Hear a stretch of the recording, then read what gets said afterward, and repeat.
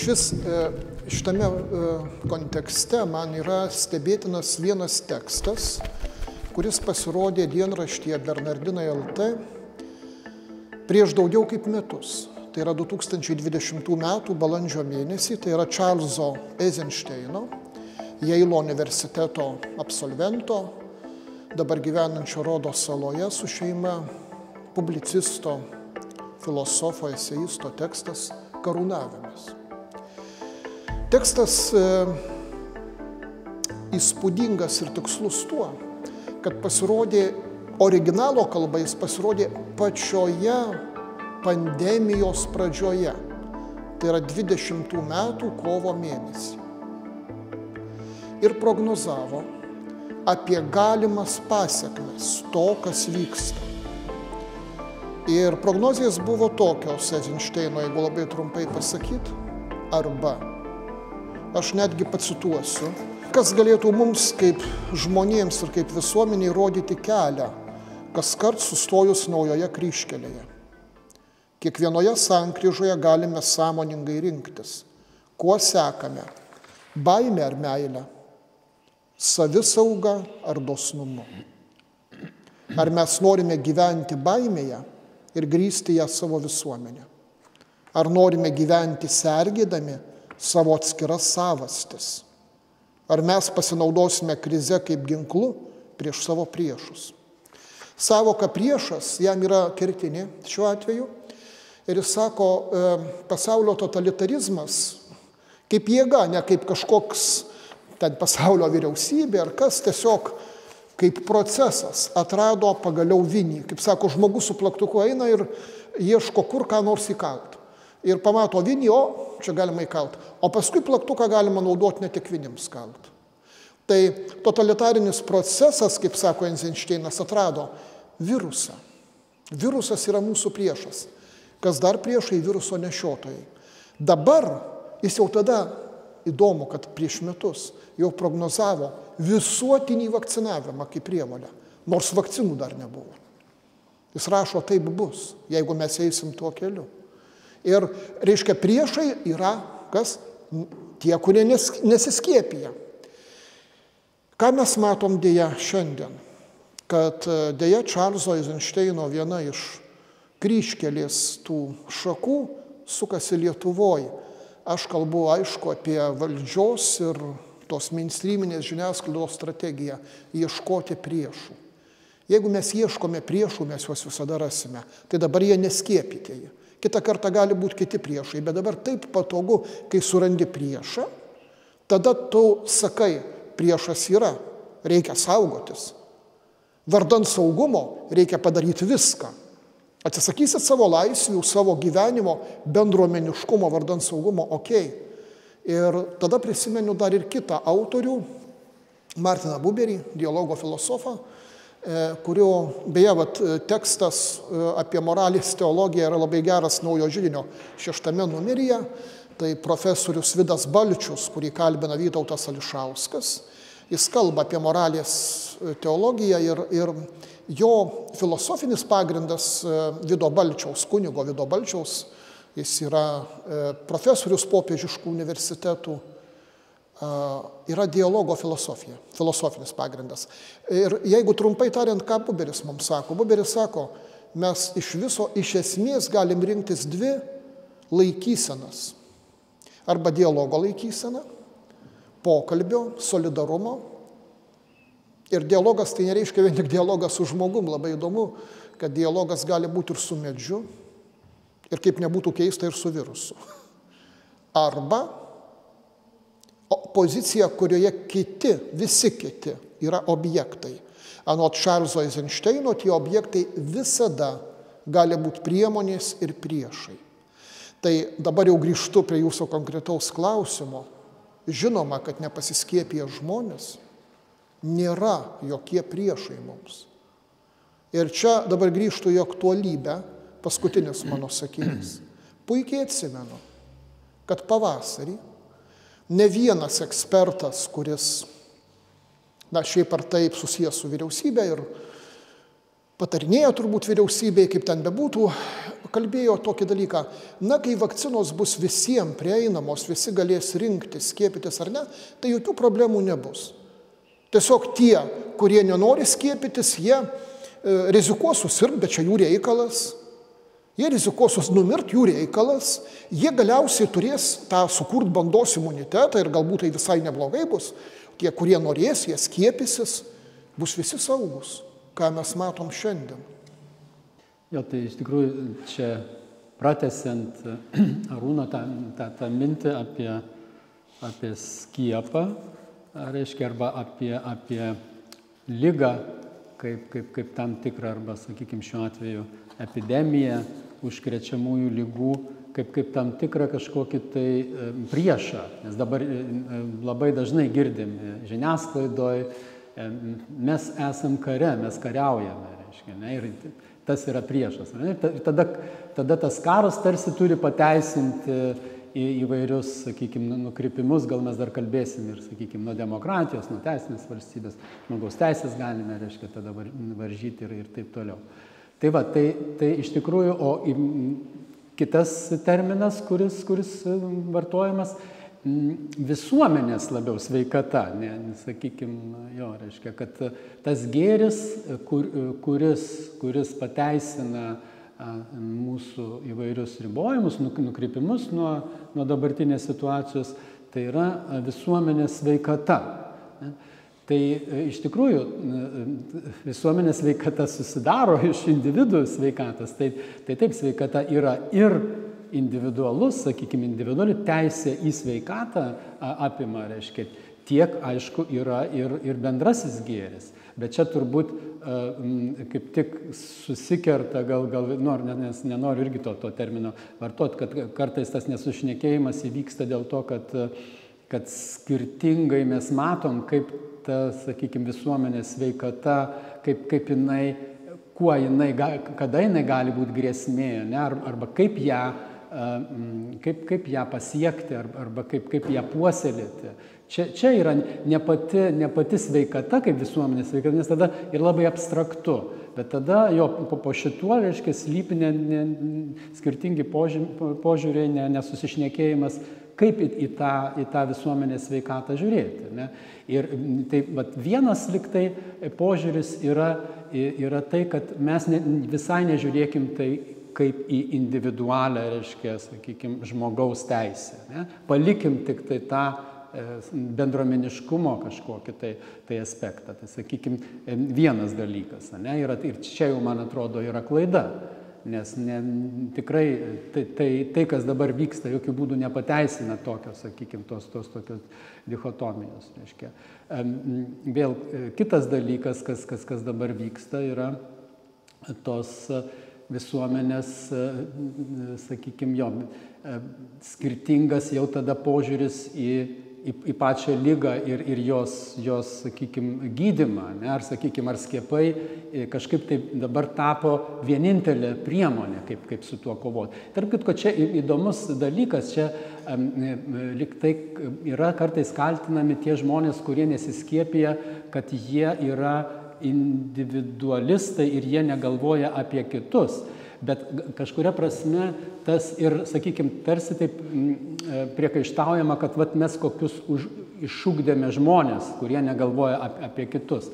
Bet tas skiepai irgi tam tikra prasme yra apie tai, kad nu, yra kažkoks tai labai minimalus, mi, minimali, reiškia, intervencija, kuri išsprendžia tavo sveikatos problemą. Tau nieko nereikia daryti.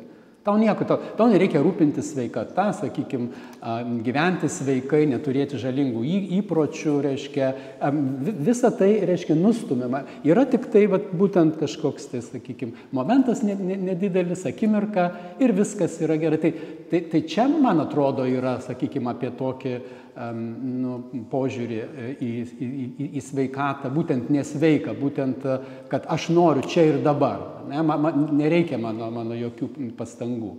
Tai vat, e, tas vat, nesusitarimas arba, sakykime, skirtingi tie, tie požiūriai apie, apie tai, kas yra ta visuomenės sveikata ir kaip ją įgyti, e, čia irgi yra tas, tas, tas momentas, galų gale mes visiškai atmetam tą imunitetą, e, kurį mes turim nu, iš gamtos, iš, iš Dievo. Reiškia. Tarsi jo nebėra, jis visą laiką buvo, o dabar jo nebėra, nes yra, reiškia, tik tai, tik tai skiepas. Ne, negaliu nesusilaikyti, aš labai atsiprašau, bet aš labai trumpai dar pacituosiu Čarlzą Eizenšteiną, kuris rašė, dar kartą pabrėžiu, prieš pusantrų metų, jis kalba, ar dabartinės kontrolės priemonės būtų laikinos ar ilgalaikės, pagaliau atsirado precedentas. Tarp precedentų jis paminė interneto cenzūrai, kova su dezinformacija dėl koronavirusų, privalomai vakcinacijai ir kitam mediciniškam gydimui, įsteigiant valstybės viršenybę prieš mūsų kūnus dėl koronaviruso. Suskirstyti visas veiklas ir judėjimo kryptis įleidžiamas ir draudžiamas, gali išeiti iš namų dėl šito, bet ne dėl to. Taip ištinant nekontroliuojama teisiškai neapibriešta zona. Ši, vis, ši visuma yra pati totalitarizmo esmė. Ir štai ką tu vat kalbėjai, Vaidai, yra labai įdomu, kad Čarzas Eizenšteinas prieš pusantrų metų tą patį sakė, per savo gyvenimą stebėjau, kaip visuomenė vis daugiau svarbos teikia saugumui, garantijoms ir rizikos mažinimui. Tai ypač paveikė vaikystę, kai buvau mažas. Buvo normalu nuklysti mylę nuo namų, niekieno neprižiūrimam. Ir dabar mes matome, kad vis daugiau profesijų naudoja lateksinės pirštinės kaip metafora. Tai pasireiškia ir visur naudojimų rankų dezinfikavimo. Ir tai skatina mūsų imuniteto silpnėjimą.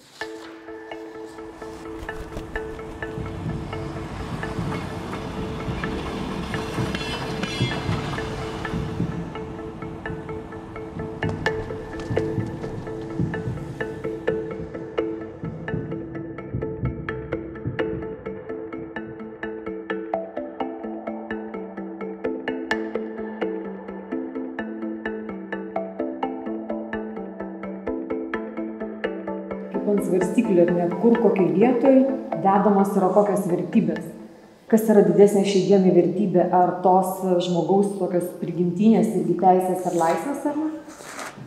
Ar yra tiesiog ugdoma dabar valstybė tokia baime ir, ir bandant tiesiog parodyti, parodyti kažkokius baubus, parodyti tos priešus, ar ne, bandoma uždėti apynasrį galbūt visuomeniai bandoma riboti tą tokį gebėjimą kritiškai mąstyti, priimti patiems sprendimus ir bandoma tiesiog irgi apriboti tas tokias, atrodo, laisvės, kur ypač mūsų šalyje buvo dėl jų labai daug kovojama, ar ne, ir, ir lietuviai labai gerai supranta.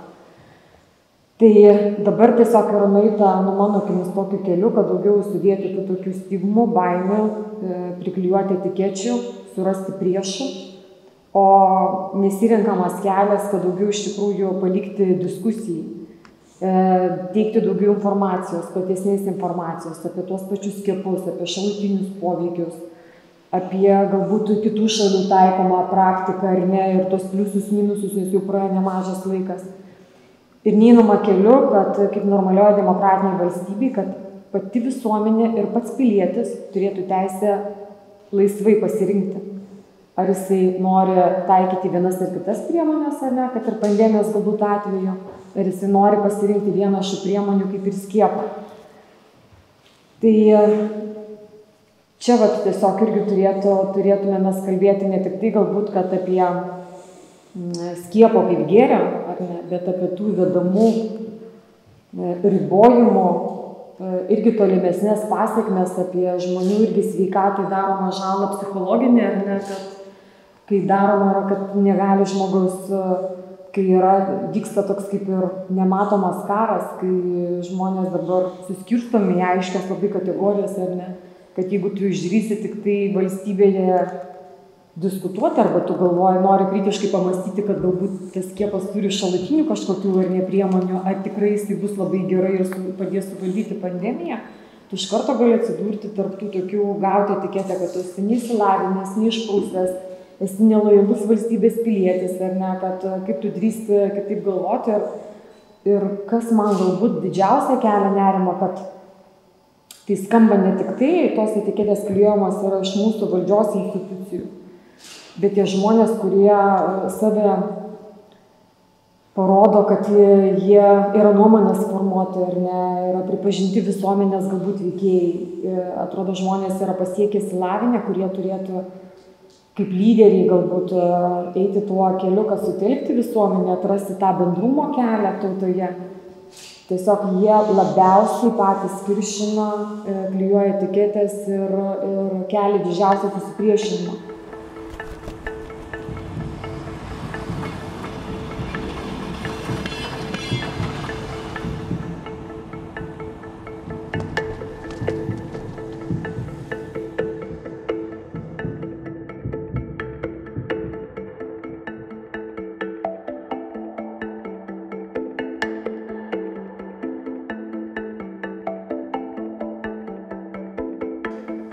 Pacituosiu kitą tekstą.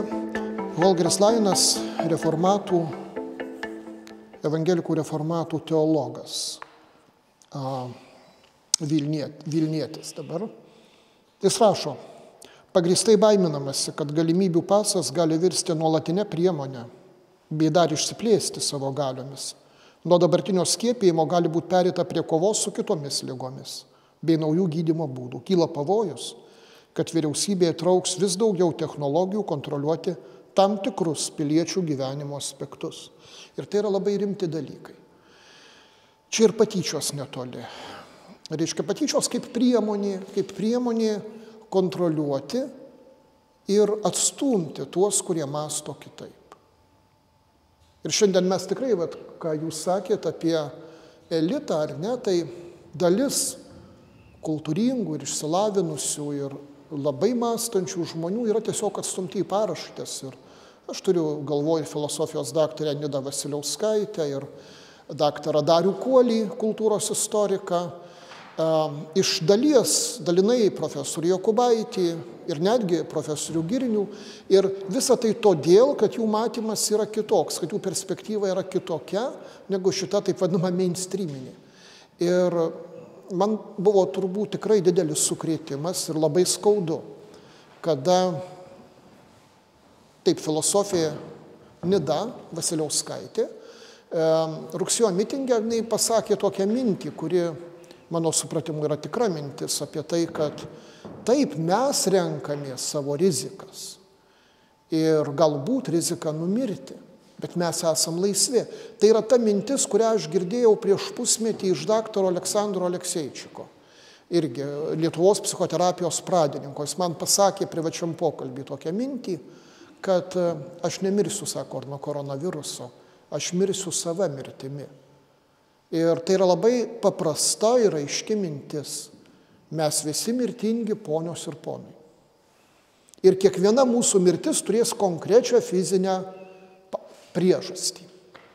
Bet jeigu mes tikime ne tik tai technologijom, bet dar ir Dievu, arba dar kažkuo, kas yra mūsų gyvenime svarbiau, kažkokia aukštesnė prasme, tai turim sutikti, kad kiekviena mirtis gali būti prasminga, nes jinai yra sava, yra asmeniškas įvykis, asmeniškas dalykas. Ir laisvė, jinai negali būti ribojama vien dėl to, kad bus saugiau. Aš dabar tikrai su dideliu nerimu žiūriu į žmonės, kurie tikrai protingi, tikrai reflektyvūs ir jiems staiga saugumas tampa pirmą vietą. Toks įspūdis, aš gal utriruoju, bet reiškia, jeigu jie kažkokiu būdu apsisaugos nuo lygos COVID-19, tai jie nemirs niekada. Nu, tikrai toks keistas įspūdis. Ir tada, žinoma, tyčiojamas iš visų, kurie sako kitaip ir iš tos pačios daktarės Nidos Vasiliauskaitės, kaip tyčiojamasi buvo po šito jos posakio. Ir man labai liūdna ir skaudu, kad tai pradėjo pati premjerė. Nežinau, ar iš tikrųjų nesuprasdama, ką filosofija pasakė, ar tiesiog leisdama savo pasityčioti Facebook'o erdvėje. Įsiklausykit. Cituoju Vaidotas Zemlys Balevičius. Matant, kaip gyvam eteryje gydytojas rezidentas taršo sakytinės teisėsakos instituto direktoriaus šlapimo ordino kavalieriaus nuvalkiotus antivakseriškus argumentus, supranti, kad viskas bus gerai su Lietuva. Piktybinius durnius iškentėsim, o apkvailintus atjausim ir sukandę dantis arba išgydysim, arba palidėsim jam žinybę.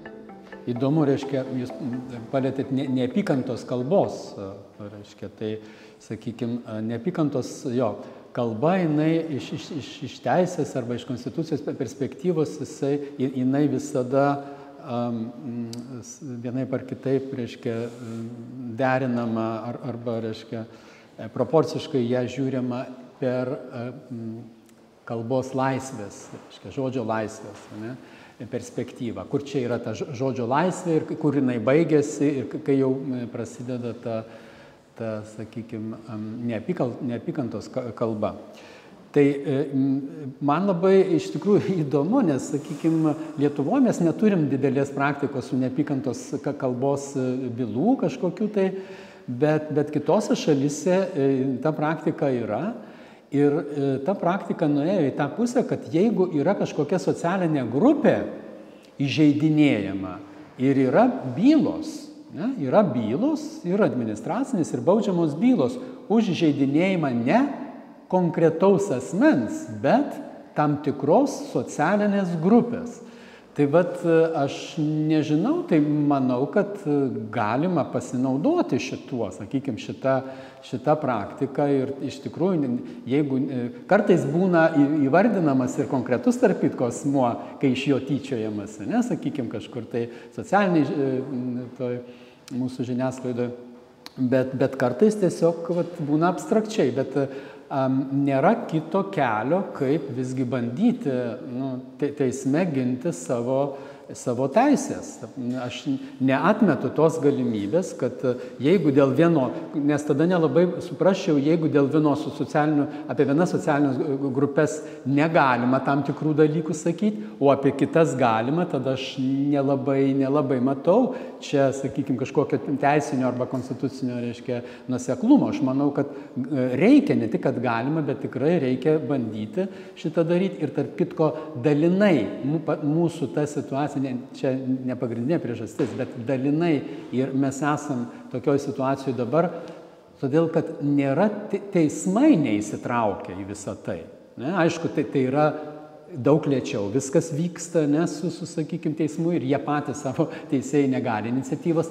Mes turime šitą daryti, jeigu aš jaučiu, kad e, mane ar tai asmeniškai, arba kaip tam tikros e, priklausančio, tam tikros grupės, arba kaip galvojančio ar darančio kažką, tai mane e, diskriminuoja, mane įžeidžia, aš turiu ginti tas teisės. Vat čia irgi yra labai, čia jau nebeteisinis kažkoks psichologinis klausimas, dabar toks, gal čia ir su baime susiję, kad tiesiog žmonės bijo, nelabai ne, ne aišku, ko jie bijo. Jie visko bijo. Jie bijo pasakyti savo nuomonę, bijo kreiptis į teismą, bijo kreiptis į, į, reiškia, į, į, į policiją. Tai va tas, tas čia, kaip, kaip išsklaidyti tą baimę, gal jinai tada kažkaip tai, nu, ta, ta, ir, ta, ir ta situacija pradėtų keistis. Gal pradėti kažkas tai turi, ne, kad, vat, sakykime, žmonės turi pradėti ginti savo teisę, ne tik teismuose, ne, yra įvairios institucijos, ne, yra nevyriausybinės organizacijos, yra iki teisminės įvairios, yra policija, yra škai teismai, bet, prasme, pradėti ginti savo teisę. Čia va tie dvigubi standartai, ko gero, yra labai, iš tikrųjų aš visada galvoju, kad žmogus priima sprendimą ar ne, visada savo vidinėmis vertybėmis vadovaudamasis. Nu, jeigu pas tave viskas tuo vidiniam vertybėm ar ne viduje yra gerai, tai tu niekada ko gero nenaudosi tokių epitetų ir nežydinėsi kito ir nežeminsi. Taigi patruliai turėjo būti žurnalistai, kaip ten reiškia, po, po, po policijoje, jo, reiškia, patruliai, kur jie yra? Taip, ir aš visiškai sutinku, tik mane iš tikrųjų perskaitytas jūsų tekstas šokiravo, aš jo dar nebuvau girdėjęs, tai yra kažkas, kas jau net ir Lietuvoje peržengia visas ribas, bet pasirodo gal ir neperžengia. aš pats irgi išpažinsiu, esu skiepytas ir netgi trim dozėm Ir netgi vakar dariausi antikūnų testą, tai galiu pasakyti, kad esu toks pilnas antikūnų, kad laboratorija net nesugebėjau suskaičiuoti, kiek jų yra.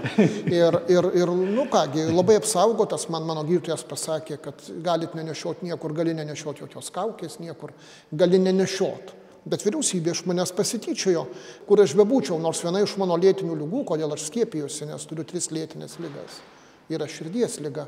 Ir pavyzdžiui, nešioti kaukę man yra tiesiog pragaras. Ir man tai yra pavojinga, tiesiai pavojinga sveikatai. Ir, ir aš niekam nepavojingas, aš nebijau užkrėtimo, aš nebijojau, kai nebuvau skiepytas, nebijau tuo labiau dabar. Iš viso nebijau kažkodėl, nu tiesiog nebijau. Bet tai čia vis tiek iš manęs tyčiojamas ir liepiama užsidėti kažkokį ansnukį, ar ne? Tai čia atsiprašau už tą žodį, bet nu kaip man kitai pavadinti. Bet grįžkim prie mobbingo, prie emocinio spaudimo, prie smurto, apie ką kolegija kalbėjo. Tai jis vyksta dar ir kitokiu būdu. Ne tik tokiais viešais užsipolimais, kurių, sakau, čia turbūt viršūnę kol kas išgirdau, bet, pavyzdžiui, kiekvieną dieną skelbiant mirtis, kiek mirė pasiskėpijusių, kiek nepasiskėpijusių, mes juk nieko negalim patikrinti, kokios buvo gretutinės lygos. Kiekvienas gydytojas jums pasakys, nuo COVID-19 tiesiogiai nemirštama, tik nuo komplikacijų. Tik nuo komplikacijų. Ir komplikacijos taip gali būti tiesioginės COVID komplikacijos, gali būti ir netiesioginės. Ir ką gali žinoti tos netiesioginės, kiek įtakojo kitos lygos, kiek amžius įtakojo, bet tie skelbimai nuolatiniai, jie sudaro baisę emocinę atmosferą. Ir, reiškia, skiepykitės, žiūrėkit, kiek jūsų miršta. Žiūrėkit ir e, nurodomi amžius žmogaus, iš esmės nurodomi duomenys pagal kuriuos žmonės galim identifikuoti, ypač artima aplinka, artima ar tolimesnė, kurie pažinojo, kad žmogus sirgo. Ir kas tai yra? Tai yra, tai yra ne kas kita kaip nuolatinis emocinis spaudimas, kuris vyksta kiekvieną mielą dieną. Aš specialiai domėjausi kitų šalių patirtim, ne Italijos, bet tų šalių, kurios elgesi humaniškiau, mano giliu įsitikinimu, niekur panašių dalykų nėra. Mano pirmoji profesija yra psichologas, Tai man atrodo, tai yra nuolatinis emocinis smurtas prieš Lietuvos gyventojus, prieš visus. Pasiskiepijusius ir nepasiskiepijusius, nes pasiskiepusi dauguma, nes mes vadu kitaip galvojam, bet dėja dauguma oh, trina rankas, matot, va vėl nepasiskiepusių kiek mirė, ne? O iš mūsų mirė nedaug, nu kažkas tai, man kažkas žmogėdriško, tikrai. Ir aš tai galiu pasidžiaugti kaip kunigas, kad mūsų bažnyčios ganytojai vis tik tą situaciją stebi. Neseniai Vilniaus arkivyskupas Grušas e, Bernardinai LT e, pasakė du dalykus, kurie mano galva šiuo atveju labai svarbus. Vieną dalyką, kad galimybių pasas tikrai niekada nebus naudojamas bažnyčioj. Visi turi vienodą teisę į sakramentus, į maldą, Antrą dalyką jis pasakė, kad jo nuomonė galimybių pasas turėtų sudaryti saugesnę ir draugiškesnę aplinką ir tiem, kurie nesiskiepija. Ir jis nu, ten nu, nustebęs taip, kodėl taip nevyksta.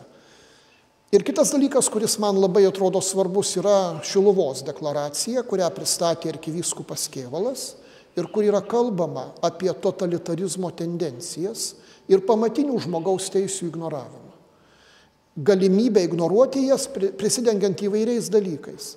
Tai šitas dalykas labai svarbus, šita bažnyčios pozicija.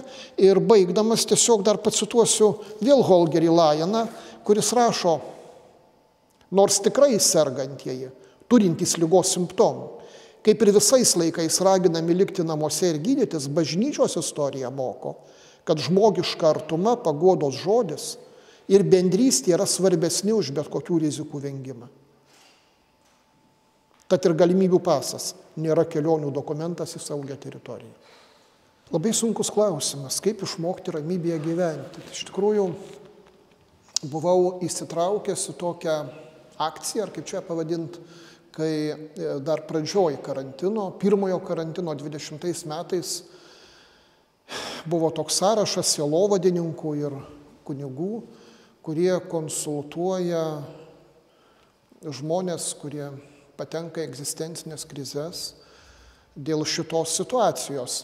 Tai tos krizės tikrai, na ir statistika rodo, jos labai paaštrėjo, smurto žiauriai padaugėjo šeimose, artimoje aplinkoje, savižudybių skaičius, mąstymo apie savižudybę.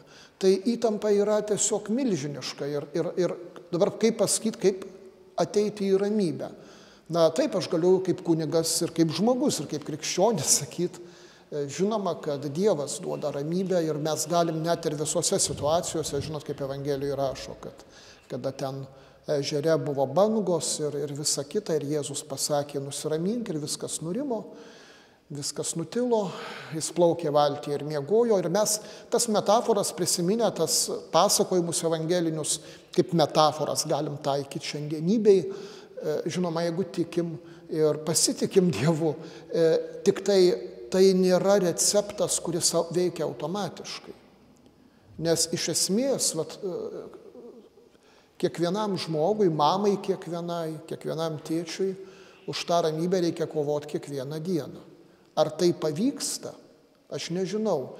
Aš susitikau su galybė žmonių ir, ir tikrai, kuriems labai sunku, kiek galėjau padėti, aš nežinau, kažkiek padėjau, kažkiek pats persėmiau labai didelėm įtampom iš tikrųjų ir iki miego sutrikimų didelių ir viso kito. Tai, tai visa tai taip. Ir vis tik tai, jeigu pozityviai žiūrėt, tai e, aš manau yra tas, ta dalis, kada žmonės ieško vieni kitų. Taip, yra labai daug supriešinimo, dėja.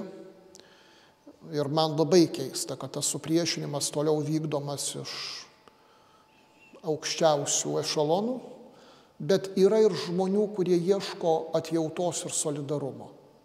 Ir tai yra viltis. Ir galbūt e, labai svarbu yra nesijausti vienam ar vienai. Ir būti su Dievu, tai reiškia būti ir su kitu žmogum. Ir tada iš tikrųjų pamatai, kad e, nesi vienišas, aš ačiū Dievui, per karantiną, nebijau pasakyti, aš turėjau žmonių, kurie niekada nesilaikė tų absurdiškų taisyklių apie namų ūkius, kad ten dviese susitikti ar kiek. Nu tikrai, man tai buvo didžiulė atgaiva. Ir tai buvo labai gera patirtis irgi vat, labai kas, kas svarbu, kad, kad išliktų bendruomenės. Nes vat, mes su Arūnu važiavom čia ir, ir kalbėjom um, prieš tą susitikimą, kur yra, sakykime, panašiai kaip sovietų, reiškia, okupacijos metu, kas, kas buvo blogiausia padaryta, kad buvo bendruomenės, sakykime, suskaldytos. Tai, tai va dabar irgi taip, taip yra, kad, kad žmonės, nu vis tiek jie yra daugiau atitrūkę vienas nuo kitų. Ne? Tai va, toks tiesiog, nu, nežinau, palinkėjimas mums mum visiems tiesiog burtis, ne, nepamesti tų, tų, tų bendruomenių. Ne? Iš tikrųjų, mūsų tarsi kažkokie jau ir, ir, ir įpročiai liktai kitokie, mažiau gal kažkur tai burtis, na, mažiau socializuotis, bet, bet manau, kad šitas reikia, nes žmogus yra nu, ta socialinė būtybė, jis, jis nu, negali kitaip. Vat, tarp kitko, čia man to, to pirmoji pandemijoje labai keistai tas, tas skambėdavo, sakė, jo, reiškia, jokių būdų ne, nebendraukit, arba vaikai negali tarpusavį, reiškia, bendrauti. Tai kaip jie auks? Vaikas auga visai ir fizinė, ir psichologinė prasme bendraudamas. Me, žmogus yra socialinė būtybė, jis subręsta, jis užauga tik su kitais ir tik e, bendruomeniai kažkokioj. Tai, tai, tai, va, tai, tai tą labai svarbu, reiškia, kad jokia lyga negali šito uždrausti. Nes čia yra esminė žmogaus, tai, tai yra prigimtinė žmogaus savybė. Aš atsimenu, su studentais netgi taip, taip kalbėjau, kad per tą pirmą, pirmą pandemiją, kai visi taip liktai buvo nu, iš, išsigazdinę, kaip, kaip čia dabar daryti, ar aš galiu apskritai, aš atsimenu, reiškia, tas buvo, kad tu, tu praeini, e, reiškia, šalia žmogaus porą metrų ir, ir ne, neduok dievė jo distanciją, nei nenusišypsosi, nei, nei, aišku, rankos nepaduosi ir taip toliau. Tai, Tai, e, tai kaip, kaip, kaip kalbėjom apie žmogų, konstitucinę žmogaus e, sampratą, čia tarp kitko ne, ir kartu ir, ir, ir teisė, ir, ir konstitucija, žmogus kaip asmuo. Konstitucijai žmogus kaip asmuo tai yra jisai santykyje su kitu, su bendruomenė ir su valstybė jau kaip pilietis, bet jisai yra santykyje, nėra žmogaus be santykio. Tai, e, tai keli studentai man po paskaitos kažkaip ir pasakė, sako, Dėstytojų, ačiū labai už, už tai, ką jūs pasakėt, nes aš jau buvau išsiga, išsigazinus ir liktai, kad jau nebeisiu niekur ir, ir su nie, niekuo ne, ne, nebendrausiu. Tai va, tai ta, ta, to bendrystė tikrai labai svarbu išlikti. E, paskui e, tiesiog, e, kai klausau, vis noriu Eizenšteiną cituoti, nes pačioje, pačioje, pačioje, reiškia, karantino pradžioje jis rašo. Šią istoriją išgirdau iš draugės praėjusią savaitę. Jie buvo parduotuvėje ir pamatė moterį kūkčiojančią viename praėjimu. Pažeisdama atstumo laikymosi taisyklės, Ji priejo prie moters ir ją apsikabino. Ačiū, tarė moteris. Tai yra pirmas kartas per dešimt dienų, kai mane kas nors apkabino. Dabar prisiminiau irgi vieną situaciją, man moteriškė e, e, pasakojo tiksliau žmogus, sūnus moters, kuriai 90, o jam arti 70. Ir, ir, reiškia, ir jisai jis skambinosi telefonu su savo mama, mama, nu ką, aš tave saugoju, aš negaliu atvažiuoti, sako, sunelis, sako, klausyk, man, man virš 90. Sako, aš noriu, kad tu atvažiuotum, jis važiavo pas ją ir sako, mes per kalėdas būtume kartu. Taigi aš mirsiu, bet kuriuo atveju, koks man skirtumas. Aš noriu būti per kalėdą su tavim, kol dar šitas kalėdas švenčiu šitoj žemėje. Tai yra toks suprantamas dalykas, aš, aš net negaliu suvokti, kaip to suvokti neįmanoma. Žinot, e, išlikti žmogumi, tai aš visiškai e, drąsiai sakau, tai reiškia išlikti santykyje. Ir aš manau, tai yra pats svarbiausias dalykas, nes, nes tik santykyje galim realizuoti ir savo laisvę, ir bendrąjį gėrį. Bendrasis gėris nėra kažkoks abstraktus visų gėris. Tai yra komunistinė arba nacionalsocialistinė samprata. Krikščioniškoje, sakysim, koncepcijoje, socialinė mokymė krikščioniškam, bendrasis gėris tai yra kiekvieno asmens esančio santykėje su kitais gėris. Ir kiek jis yra realizuotas visuomenėje, tiek ir yra bendrojo gėrio. Ne, aš irgi taip pat pritariu, kad nu, svarbiausia išlikti uh, santykyje ir taip pat su savo sąžinė. Nes nu, vis tiek kažkada tas, tas baigsis, aišku, gal bus kitos krizės ir bus jos, bet, bet nu, tikrai neleiskim tom krizėm pakeisti mus ar kažkaip tai, reiškia, užvaldyti mus, bet turbūt atvirkščiai krizės yra padėti man išlikti žmogumi, padėti man e, kažkaip tai mm, apčiuopti, iškristalizuoti labiau tas vertybės, dėl, kurio, dėl kurių, sakykime, aš esu žmogus, galų galiai ir, ir tos konstitucinės vertybės, kaip žmogaus teisės, kurios yra per santyki, kaip, kaip demokratija, kaip, kaip teisinė valstybė, bet e, ne tik tai, bet, bet taip pat ir, ir tos, tos bendražmogiškos, tos, sakykime, neteisingumas, gėris ir, ir pasiaukojimas. Tai, tai jo, tai m, mm, aš sakyčiau tiesiog žiūrėti į tą krizę būtent kaip į, nu, kaip, kaip, kaip į tam tikrą priemonę, sąlygą, kaip iššūkį a, tapti žmogumi, išlikti juo.